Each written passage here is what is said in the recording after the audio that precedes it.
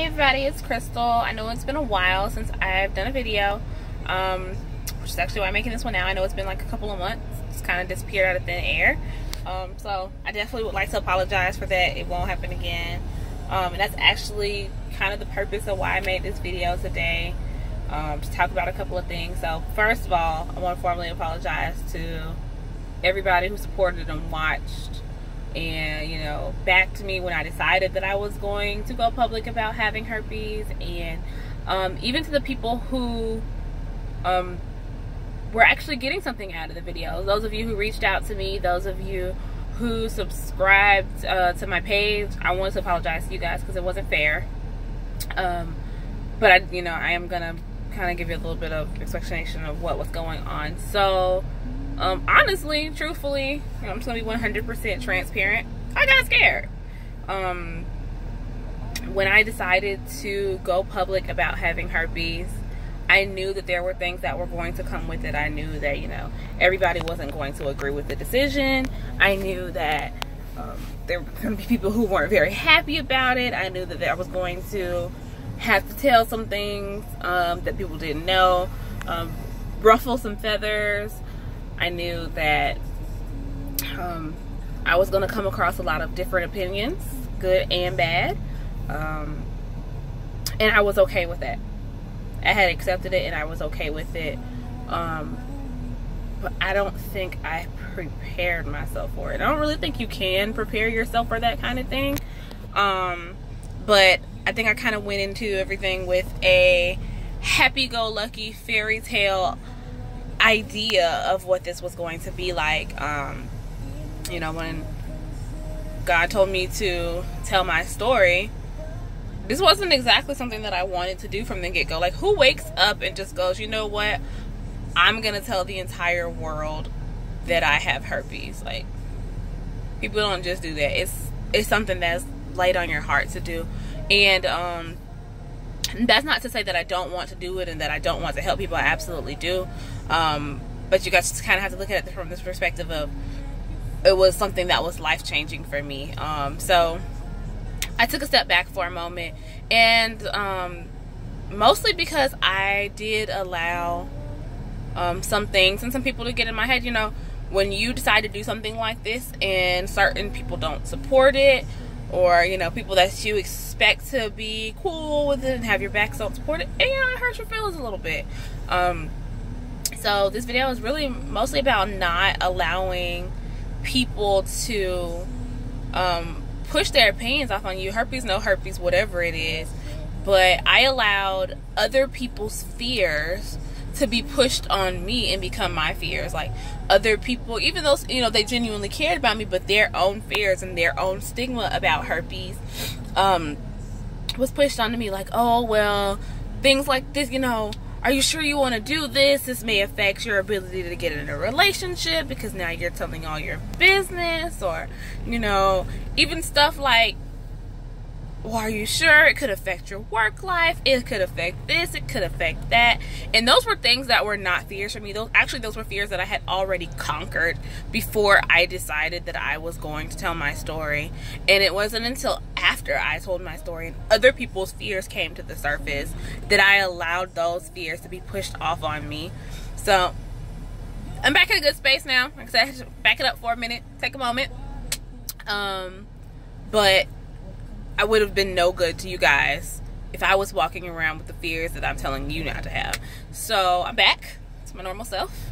Um, like I said, you know, I accepted myself with herpes, um, but I just had to get out, take a moment because you can't allow other people to push their fears off on you.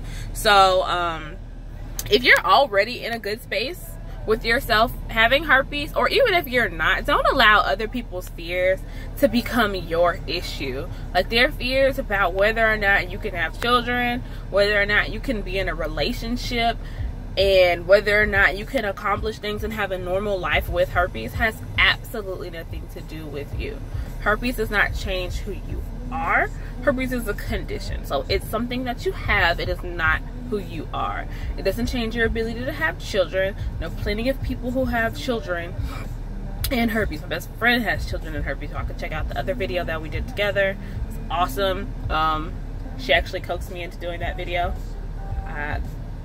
That was in the midst of that all that stuff going on and I was like I want to do a video but I'm scared and she coaxed me into doing it by um, doing the on her page and then throwing me in there and then I ended up doing the video I was supposed to do anyway.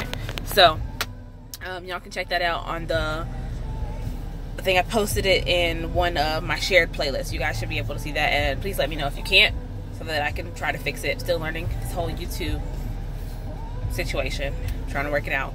Um, but don't allow those things to become your own fears. Like you know who you are, you know what you want to do with your life, you know that what you're capable of. So don't allow somebody else's opinion and someone else's fears to be pushed off on you.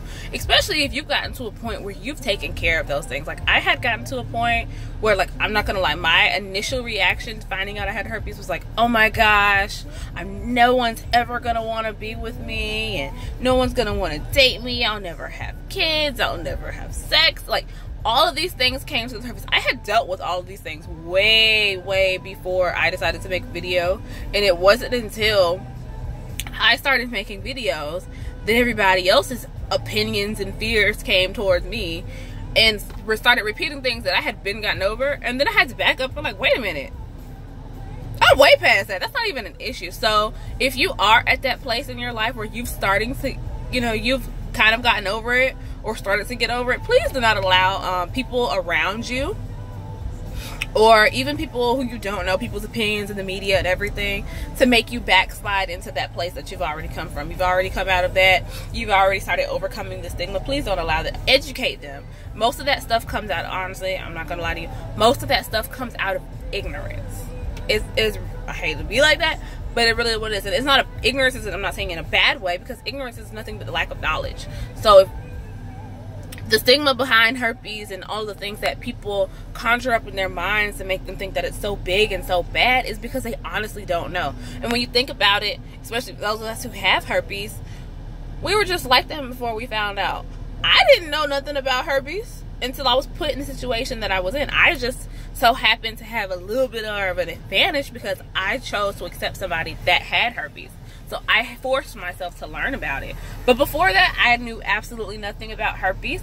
I probably, I'm sure I walked around and said some of the stupid stuff I hear on a regular basis. Um, like when the Usher situation blew up, oh my gosh, I saw a million and one memes um, regarding herpes. And I'm not gonna lie, of them kind of funny. Like I had to learn not to get offended by things. Please do not get it. You have to get to a place where you're not offended by everything. But not allowing people's thoughts and opinions and ignorance to be pushed off on you to make you feel less than what you are. Because herpes doesn't change what you are. You know who you are. You know who you were before herpes. When I, I found out that I had herpes, my name was Krystal the day before I found out. And it was Krystal the day of. And it was Krystal the day after. Nothing, nothing about me myself changed. I had it took me a while to realize that, but you don't change as a person unless you allow yourself to change just because you got herpes.